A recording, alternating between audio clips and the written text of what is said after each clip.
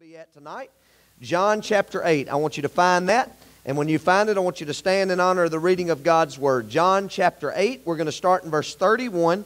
And uh, I'm going to read, uh, let's see, verse 31 and 32. And I'm going to focus mainly on one particular part of that, but I want us to read it. Verse 31 says, Then Jesus said to those Jews, those Jews who believed him, those Jews, what is up with my reading today? Jesus said to those Joes, so if anybody's a Joe in here, Jesus is talking to you, all right? Jesus said to the Jews, I figured this out. I am a constant amusement for you people. I, have I've figured that out, all right? As so Jesus said to those Jews who believed him, If you abide in my word, you are my disciples indeed. And you shall know the truth, and the truth shall make you free. And they answered him, We are Abraham's descendants and have never been in bondage to anyone. How can you say we will be made free? Let's go ahead and read. Jesus answered them, Most assuredly I say to you, whoever commits sin is a slave to sin. And a slave does not abide in the house forever, but a son abides forever. Therefore, if the Son makes you free, you shall be free indeed. Let's pray. Father, thank you so much for your word tonight. We ask that you speak to us in Jesus' name. Amen. Amen. You may be seated. Now, for those of you who are just trickling in this afternoon and you haven't been here the last little while, we've been in a series that we have called War. And we are talking about the battle of spiritual warfare that Christians find themselves in on a daily basis. Now, if you are not aware of that, I just need you to understand that you are in a war. You are in a battle. It is taking place in your life every single day Satan doesn't like you. He doesn't like Jesus. He doesn't like anything to do with Jesus. And so he's trying to wreck our life. So listen to this. Here's what we know so far. We're in this extreme battle with Satan and his demonic forces. This battle is spiritual, but oftentimes it manifests itself physically and it weaves its way into our lives through the manipulation, listen, the manipulation of the mind. So it is imperative that you and I passionately and prayerfully guard our minds. People, listen to me. Do not leave your mind unguarded. If you leave your mind unguarded, you are going to be demolished by demonic forces. And so it's important for us to make sure that we guard our minds in everything that we do. Our minds are a doorway into our actions, our emotions, our speculations, and our behavior. Now, listen to me carefully no matter how Satan manipulates, maneuvers, and tempts. And that's what he does. He manipulates, he maneuvers around, he tempts us in so many, so many ways. And all of those tactics of doing that is designed to destroy truth from our life. That's what he desires to do. He desires to make sure that you and I are not getting the truth that God wants to go inside our minds. Now, remember this, this is important. The Bible says in John chapter 8, verse 44, and we've talked about this before in the series, it says about Satan that he was a murderer from the beginning, and he does not stand in truth because there is, listen, no truth in him whatsoever. When he speaks a lie, he speaks from his own resources, for he is a liar and the father of it. So, what does that tell you? That tells you that Satan is never going to tell you the truth because every little shred of truth that he will tell, he's going to have a pack of lies to go along with it so he can deceive you. And so we need to understand that Satan is out there and he's trying his best to destroy truth in our life. Perhaps tonight, if we could walk outside and we could pull back the curtain into the heavens, we would probably see millions and millions and millions of fiery darts and lies that Satan is casting, him and his demonic minions are casting into our minds, trying to get us to live our lives based on a lie and not the truth. Satan desires to destroy truth from your mind. Mark it down, note it, believe it, remember it, because that's exactly what he's trying to do. So tonight, what I want us to talk about, we've talked about the battle of the mind, we talked about the battle of the emotions last week. What I want to talk about is this battle for truth. I want to see it from two perspectives. I want us to see it from a practical perspective, and then I want us to see it from a biblical perspective. So, everybody look at your neighbor and say, I'm ready for this. All right, good. Rest of you. Uh, there you go. He's already got you. You know what I'm saying? So, two, two ways we want to look at it practically and biblically as it pertains to truth. So, let's start with the practical perspective of truth. The first thing we need to do is we need to ask ourselves this question What is truth? All right, what is truth? If we're going to talk about truth, we need to know what truth is. Well, here's what the definition of truth is from a practical perspective truth is the body of real things, real events, and real facts. It is the state of being the case. In other words, it is what it is. Truth is truth. It is real facts, it is real events, and it is real things. Now, what, let me tell you what truth isn't, because you need to know this part, especially in the culture that we live in. You young people need to pay attention to this part. What truth isn't. Truth isn't, listen to this, it isn't your own opinions, decisions, or perceptions. Truth is not relative to our preferences or our demands. Does that make sense? Truth is not relative to our preferences and our demands and what we think it should be. Truth is what it is, right? Let me give you an example what I mean whenever I say truth is not relative. We live in a culture today that says, uh, most people would say that this is a knife. All right, this is a knife. It's a very nice knife. It's got He has ridden, risen on it because I don't know if y'all know this or not, but He's not in the grave anymore. So it's got He has risen on there. It's a nice knife. I say this is a knife. But what if somebody else comes along and says, I don't think that's a knife, I think it's a hammer? And so the culture that we live in says, well, if he believes it's a hammer, then he ought to be able to believe that it's a hammer. And so to him, it is a hammer. That's what we mean whenever we say relative truth. It means that someone gets to decide whatever they want it to be. Now, listen to me. That's not what truth is. It is not relevant, young people. It is not what a professor in college tells you. It is not what a high school teacher tells you. Truth is what it is. It cannot be manipulated and it cannot be something that it isn't. It is real facts, real events, and real things. It is what it is. It is not relative. So here's what I say about this this ain't no stinking hammer, it's a knife. Why? Because that's what it is. It's a knife, right? So, truth is real facts, real events, real things. It isn't your own opinions, your own decisions, and your own perceptions. Because we know that some folks, listen to me now, this is a biblical term. We know some folks got some jacked up perceptions. Hello, somebody. There's some, there's some crazy people in this world. Did y'all know that? I'm just go look at your neighbor and say, You one of them. Amen. I mean, just crazy people in this world. gotcha. All right? All right, now, we know what it is real facts, real events, real things. It is what it is. We know what it isn't. It is not relative. It just is what it is. So here's the next question Why is truth so important? Well, let me explain it to you from a practical perspective. Without practical truth, we know uh, we would be an unstable society, always living a life unsustain- of unsustainability and uncertainty. If we didn't have truth that directed us and guided us, we would be an unstable society. We would be in an absolute mess, wouldn't we? If there was no truth to guide us, I want you to think about this. If there is no anticipation of truth in the world that we live in, if there is no anticipation of truth, there is no demonstration of trust. If there is no demonstration of trust, then society doesn't function properly because no one believes anything or anyone. So, truth is very important. If you and I are going to be able to live in a sane society, we've got to be able to trust somebody, and we trust people because they tell the truth, right? And so, we need truth in order for us to have a society that is halfway decent, right? So, let's look at that a little bit further. Y'all still all right? Say amen, because I feel like I lost somebody right there, like, what? We need, listen, we need truth for this society to function properly. If we don't have truth, we're going to be in a mess as a society. Let me tell you what I'm talking about. We're going to think a little bit deeper on this. A lack of truth breaks down communication, doesn't it? A lack of truth breaks down communication. If I don't trust you, I'm not talking to you. Hello, somebody. If I got important things I need to share, but I don't trust you, I'm not telling you. Why? Because I can't trust you. Why? Because you don't tell the truth. Because you, you, you understand what I'm saying?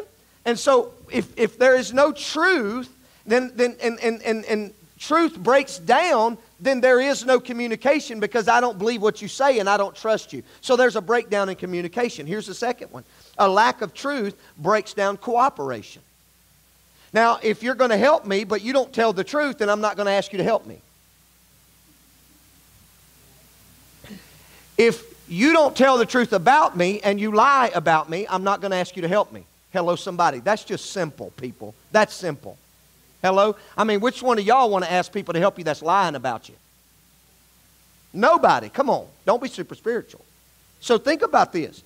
A lack of truth breaks down communication. A lack of truth breaks down cooperation. A lack of truth breaks down relationships. Have you ever, ever heard this state, statement? I don't trust them as far as I can throw them. You ever heard that? Why is that? Because you don't believe them. Because they'll tell a lie. So you can't trust them because they don't tell the truth. And so, therefore, it's a breakdown in a relationship. You can't have, listen, you married people, look at me. It's hard to have a valuable relationship with somebody you don't trust, right? Somebody who doesn't tell the truth. Sir, ma'am, whoever you are, if you lie to your spouse, it's hard for them to trust you. It breaks down relationships when there is no truth involved in those relationships. Here's another one a lack of truth breaks down expectations. You know somebody who lies all the time, you just don't expect them to tell the truth anymore, do you? You're like, they lie, man. They'd rather stand up, they'd rather climb a tree and tell a lie, stand on the ground and tell the truth. I mean, they just, they just lie all the time. And so, therefore, you don't trust them because they lie. You don't expect them to tell the truth. Here's the last one a lack of truth keeps us from having proper foundations. Because there is no truth that is in our life, then we're building our lives on assumptions, speculations, lies, and whatever comes our way. Does that make sense? So listen, y'all good? Say amen. Look at your neighbor and say, he's about to make a statement, you need to listen. That's for you people over here too. That's right. You're people. Did you know that? You're people. All right? So listen to this statement. Try living in a society that doesn't communicate or cooperate, cooperate, one that doesn't value relationships, has no expectations, and lacks any proper foundation. Societies like that destroy themselves, don't they? And that's everything that we just said is a lack of truth creates. All right, I'm going to read it again so you'll get it. Try living in a society that doesn't communicate, cooperate, one that doesn't value relationships, has no expectations, and lacks any proper foundation. Societies like that destroy themselves. Now, let me twist that and help that apply to us. Are you ready? Amen? Are you ready? Watch this. Try going to a church that doesn't communicate and cooperate. One that doesn't value relationships, has no expectations, and lacks any proper foundation. Churches like that destroy themselves. Now, let's take it even a step further. Try being a part of a ministry that doesn't communicate or cooperate one that doesn't value relationships, has no ex- expectations, and lacks any proper foundation. Ministries like that destroy themselves. You see, all of that happens because of a void of truth. A void of truth. And that's exactly why Satan does not want us to have truth as a part of our society. Because if truth can be, we can be void of truth in our society, then our society will break down. And the only thing that'll take place then is chaos. And that's exactly what he wants to take place, right?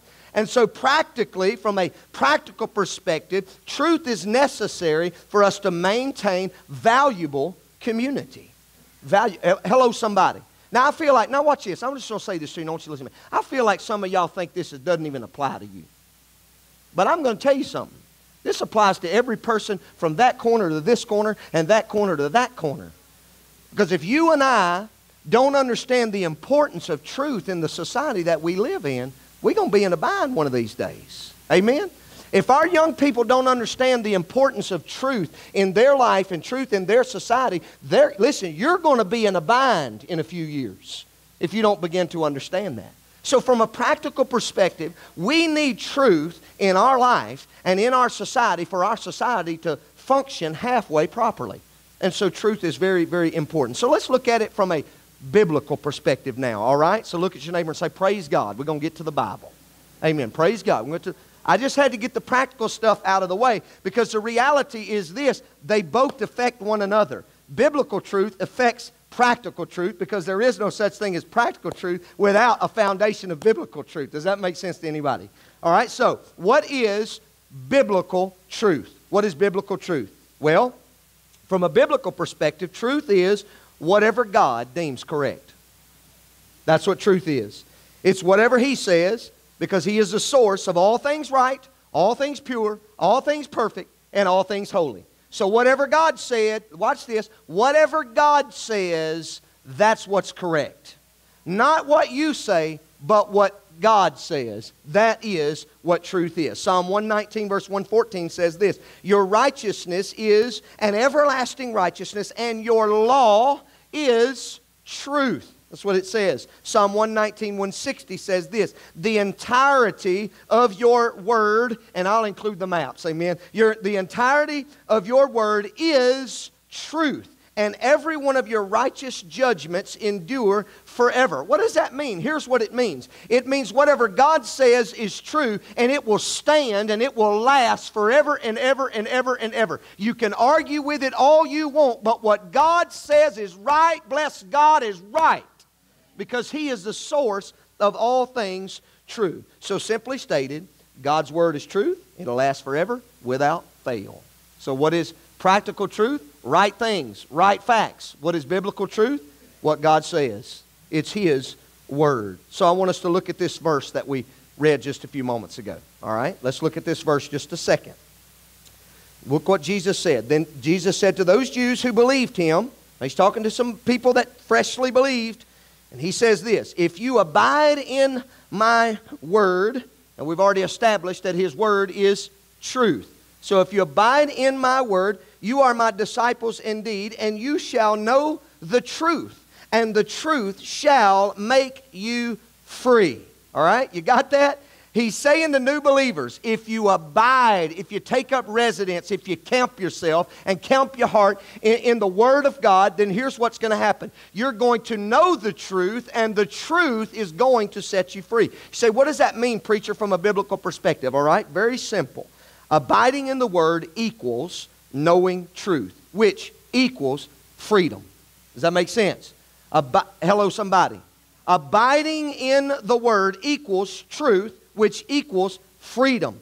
Now, if that's the case, then I can logically assume, right, I can make a logical assumption that if abiding in the Word equals truth, which equals freedom, then not abiding in the Word equals not knowing the truth, which equals bondage the very opposite of freedom. Does that make sense to anybody? So, guess what that means? Here's what that means for you, and here's what that means for all these other people that are in this room. Don't have a steady diet of God's Word, you won't know the truth, and you'll be in bondage in many areas of your life know the Word of God, know the truth of Scripture, then you will not be in bondage, but you will live a life of freedom that God has given us and God has prepared for us based on the blood of the Lord Jesus Christ, right? So, how valuable is the Word of God in you and I living a free life under heaven? It is extremely valuable. Without it, there'll be no freedom, right? And so, we need the Word of God in our life. Now, listen, take note of this if knowing the truth sets you free, and that's what the scripture just said, didn't it? I mean, hello, somebody did. So if knowing the truth sets you free, you can bet Satan and his demonic angels don't want you to know the truth. Oh, you can believe that for sure. If they know that it'll give you freedom and it'll take you out from underneath bondage, you can better believe that the angels of hell and that the, the demons of hell and Satan himself do not want you to know what the truth is. So, what do they do? Here's what they do they use lies to wage war in your mind against the truth. That's what they do. Sounds pretty simple, but it's very clever. They use lies and they wage a war in your mind based on lie. Let me, let me ask you a personal question. Have you ever invented something somebody said that they didn't say? Anybody ever done that? You say, what do you mean? Oh, by making an assumption, you assume they thought something that they didn't think. Then you said that they said something they didn't say when they really didn't say it, and now you all jacked up. And you know what happened? you know, say, you say he's smart. Listen, what happened is you allowed an assumption to become a lie. And then all of a sudden, that lie has captivated your mind. And so now Satan is wreaking havoc upon your life based on a lie you created because he put an assumption in your thought life. And you took it and made something out of it that it wasn't supposed to be. See, Satan is clever, man. And he wages war against our mind with lies and against the truth that we're supposed to love. Uh, th- listen to this. They use lies to create doubt, and when doubt is fully established, the trust that truth provides is completely gone. Now, I'm going to read that again because I think that's a great statement. When they throw those lies and those demons throw that stuff at us, here's what happens. They use the lies to create doubt. See that in the garden. Use lies to create doubt, and when doubt is fully established, the trust that truth provides is completely gone. And you know what's crazy? You know what's crazy? Here's what I find to be crazy. Many times we would rather settle for the lies of the enemy instead of embracing the truth of, God, embracing the truth of God's Word. That's what's so crazy about believers sometimes. We would rather believe a lie that causes destruction in our life than we would believe the truth of God's Word. Isn't that crazy? Look at your neighbor and say, You're crazy. But that's what we do all the time. Listen, watch from the pulpit to the back door. We believe the lie so many times. And it's almost like sometimes we would rather believe the lie. And turmoil just fills our life because we're not trusting in the truth of God's Word. We're believing the lies of the enemy. It's crazy. Here are some ways that Satan and his demons wage war on the truth. They try to convince you that truth is relative, all right? And we've already talked about that. But that's what the world tries to convince you of. That's what Satan tries to convince us of. You get to decide whatever truth is. So basically, in other words, if you get to decide whatever truth is, then you get to establish the morality for your life. No one is in charge of truth except for you. And so you get to make a determination what you can and you cannot do and what's right and what's wrong. So if you want to kill somebody and it's all right with you, then that, so be it. Go do it. See how that see where that leads? That's just nonsense. That's silliness. That's crazy. But that's what a lot of college professors will teach you. That is what a lot of them will teach you. Them bunch of liberal jokers, I'm telling you, it's crazy. Some of the things that they will teach you to where you get to decide whatever it is that's right and wrong. And so that's all good and fine as long as we don't want to kill somebody. But what if somebody thinks it's right to kill my son or kill my daughter? Then I ought to be able to say, well, you know, if it's good for you, go ahead. That's nonsense. That's ridiculous. But that's where the truth is relative argument leads us. Say, no, nobody thinks that. Listen to me. They may not say that, but if we follow the logic of the truth is relative argument, that's where it leads us. And so we just can't take that path. But that's what Satan, how, how he works, the war on truth. Secondly, they try to convince you that truth is unloving. Now, do we not have a lot of that going on in the world today? We've got a lot of people trying to live their life in the way that the Bible condemns and says is not right. And here's the first thing they say that's not very loving for you to say that's wrong. That's not very loving for God to be that way. That's not very loving for God to send somebody to hell because they don't believe in Him and so on and so forth. And so we're just standing on the truth of what the Word of God says, and the first thing they do is say, That's not loving. That's not loving. I thought you were supposed to be a Christian. You're supposed to love people. I do love you. That's why I'm telling you the truth. If I didn't love you, I'd say, Go on to hell then. It don't matter to me. Hello? But the first thing that Satan wants to do is wage an assault on the truth of God's word and say, that's not very loving of you to say that or believe that. Third, they try to convince you that truth is too hard to hold on to. In a world where everybody's thinking different, everybody's doing their own thing, Satan wants you to just say, just don't worry about it. Just don't worry about it. Just do your thing, man. Just be happy. Uh, take it easy and just do whatever you want to do. It's too hard to hold on to all that truth and, and go against the grain of this society. That's too hard. Just don't worry about it. Another one, of they try to convince you that truth is evolving. Whatever works in this particular time frame. Whatever worked 20 years ago, that doesn't work today. This is a different day. So truth is evolving. Whatever works 20 years from now, whatever it is, just take it up and do it. Try to convince you of that. They try to convince you that truth is too narrow. It's too narrow. You're offending people if you say all that stuff's wrong. The truth is too narrow. And so here's what we got in this world today. Are y'all listening? We got a whole bunch of people that believe truth is of the enemy instead of being of God. And so we've got an all out assault. And here's how they do it their primary method of doing all of this to us is they just attack the, God, uh, the Word of God. They attack God's Word. Now, watch this. By attacking God's Word as outdated, unloving, too narrow, too contradictory. Satan has kept many people bound up in a pack of lies, separated from true freedom. How many times have you heard somebody say, Oh, that old book, that old book, man, that thing's so outdated, man. I mean, it's only written by a bunch of men anyway. You know? Why you believing that? That thing's so old, it's not even funny. Well, I tell you this somebody come up with 2 plus 2, a man did, and I believe that. You know what I'm saying? That's all I'm saying. 2 plus 2 is 4. Every time. Until somebody come up with some new math or something, and 2 plus 2 might be 86 now. I don't know. But here's what I know this right here doesn't change. It is what it is. But what skeptics will say is, and what the devil will plant in their mind is, that book's too old. You don't need that. Here, young people, watch this. Here's what it'll do for you. Here's what the world will do for you, how they'll try to convince you. They'll say, that book's boring. That's what the devil will do to you. That's boring. Just go to church because your mom and daddy said so, but you ain't got to worry about all that stuff the preacher's saying about reading the Bible and praying and all that kind of stuff. Just live your life, do your thing. Don't worry about being obedient to that old book. You're going to get out of high school one of these days. You're going to be 18, 19, 20, and you can look your mom in the eye and say, I don't care what you believe. I don't believe it. And here's the deal. You've got the liberty to do that if you choose to do so. But that doesn't mean that this book's not right. This book is right. It is accurate. It is God's Word. But the enemy don't want you to believe that. He don't want you to live by it, and he don't want you to focus on it. Why? Because he wants to destroy truth in your mind. Because if he can destroy truth in your mind, he'll destroy your life. Amen? He will absolutely destroy your life. Understand this. Lies create bondage, and bondage creates fear. And fear, and fear, listen to this. No relationships can be built on fear. Now that's a good one because I want you to hear what I'm saying to you. Lies create bondage, and bondage creates fear.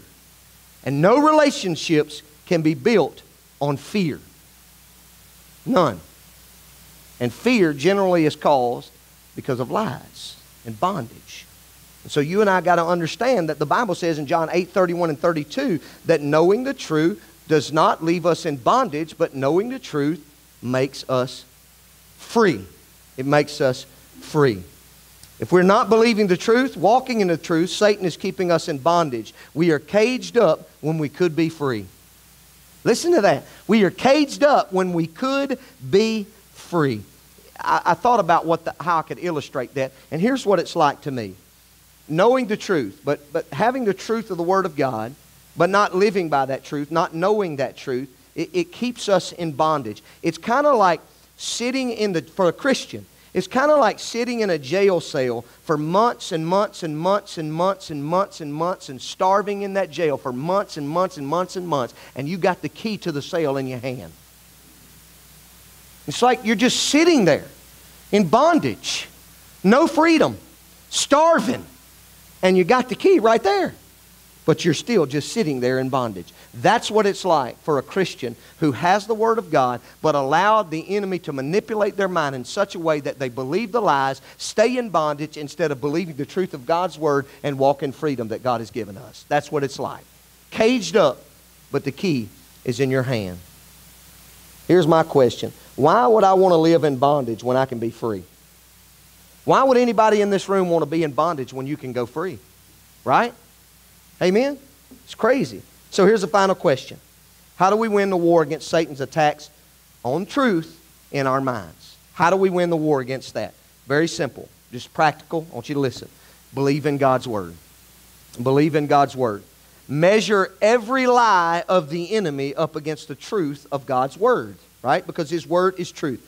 Third, Never settle any thought until you measure it up against Scripture. That's a good one. That's a good one. Never settle any thought in your mind. Never let it settle until you measure it up with Scripture. What does the truth of God's Word say about that? You say, How do I measure it up? How do I do that? Okay, that's a great question. If you want to measure up thoughts, up, to, up against the Word of God, here's how you do that. You can ask three questions. Number one, when that thought comes, you can say, or that situation comes, you can say, What does the Word of God say about this thought or about this particular situation? Because I promise you this, and you need to hear me on this one. The Word of God answers every question you ever got, you ever have about any situation that you could possibly have in your life, right? Jesus experienced it all, and the answers are there for all of it. So, what does the Word of God say about the thought of the situation? Secondly, ask yourself when that thought comes and you're measuring it up against God's Word, ask yourself, what would Jesus Christ do with this thought or this situation? See, if you, if you need help with that, they made bracelets. What would Jesus do? Bracelets. If you need help with that, get you one of those bracelets, man. But when that thought comes or that situation is there, then here's what you need to say. What would Jesus do with that thought? what would Jesus do in this situation? And whatever it is that Jesus would do, and whatever the scripture says that Jesus would do in that situation, that's what you want to do. Third, how can I ask this question? How can I respond where God will get the glory? So when Satan throws that thought at you, or you find yourself in a situation where you're not sure about what to do, the enemy may be attacking, then here's what you need to do. You need to ask yourself, okay, what, would I, what can I do in this situation where Jesus will get the greatest glory? And do that. And if you do that, those three things, you ask yourself those three questions whenever a thought enters your mind or a situation comes up that you're tempted in, I promise you, if you will be obedient to do those things and follow up with that, then here's what you're going to do. You're going to defeat the enemy at that moment in your life. You're going to be free and clear to say, Ha ha ha, Satan, I got you because I measured up what you said in my mind, that lie you told me. I measured it up against the Word of God, and I'm not falling for your schemes.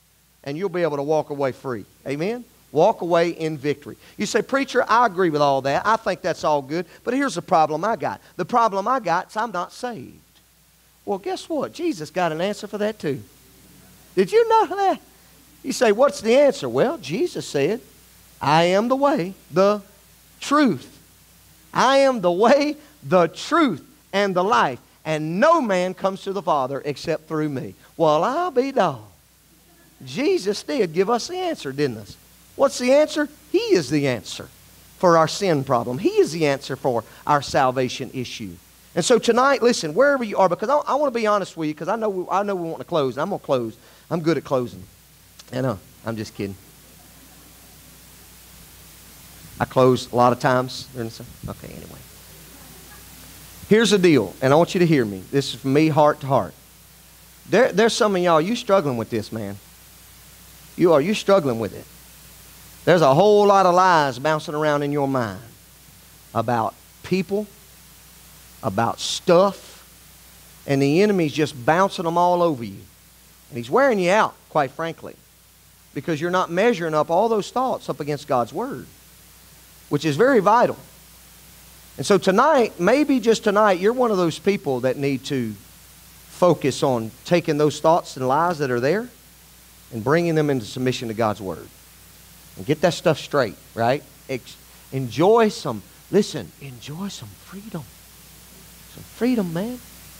Some of y'all, you're here, to be honest with you, you don't care about any of this, and the reason you don't care about it is because you're lost. You don't know Jesus. And the answer to that is just Jesus. He's the way, the truth, and the life. He died so that you could have everlasting life. And you just need to turn from your sin, put your faith in Jesus, trust in Him alone for salvation, and let Him save you. But I'm telling you this there is no reason under heaven why anybody in this room ought to walk out of this room still in bondage. There is no reason. If you do, it's because you wanted to. Because Jesus offers freedom, and He doesn't offer freedom tomorrow, He offers freedom now. And so it's just up to us to take advantage of this freedom. Satan is there, he's busting these thoughts in our mind. But God is greater than he who is in the world. Amen? And so we just need to be obedient to him tonight. My prayer for you, Bonita Road Baptist Church, and myself, is that we would not let lies settle into our minds, but we would let the truth of God's word settle there and enjoy the freedom that is ours because of the death, burial, and resurrection of Jesus. Amen?